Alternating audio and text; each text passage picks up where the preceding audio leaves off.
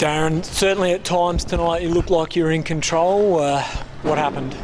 We were in control. You know, we were playing good basketball. You know, that's the interesting part about uh, games and how they run and what you do when you have the ascendancy. I mean, we had the momentum.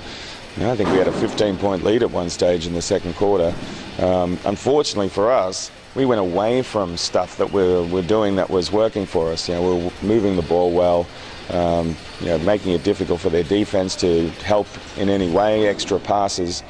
And then, you know, we went away from that. You know, we went a bit stagnant. We didn't run our stuff, uh, and they came back at us. And uh, you know, all credit to them. Uh, in the end, they came back quite, uh, probably two or three times and uh, and ran over us in the fourth quarter.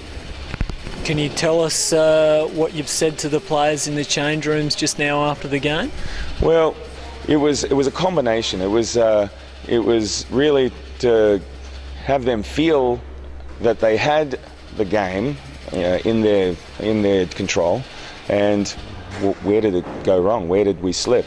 And I think we we forgot about the team stuff, running plays. We weren't disciplined enough, and when you're not disciplined down the offensive end, you don't score very many. Seven in the fourth quarter.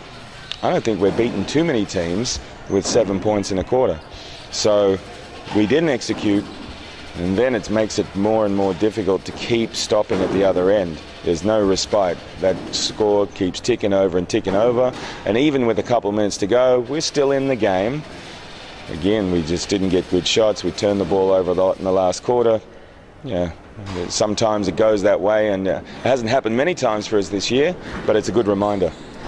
Let's put it in perspective, though, Darren. It's only really your second loss since uh, the opening rounds aside. Uh, you know, it shouldn't be all doom and gloom. Uh, you know, you're still in a very strong position. Oh, absolutely. I mean, and that's and that's the point.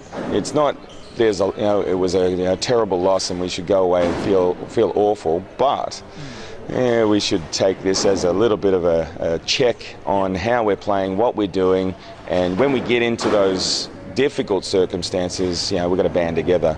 I'm not sure we did that well tonight. We have over the course of the season, so I'm still, um, you know, quite upbeat. You know, we've got uh, some games uh, coming up that uh, we think we can do well in, and uh, yeah, of course, we, you know, we'll be happy to get Venky back when he gets back from the US. But in the meantime, all the guys they know what to do and they know how to play, and uh, we're still expecting good results.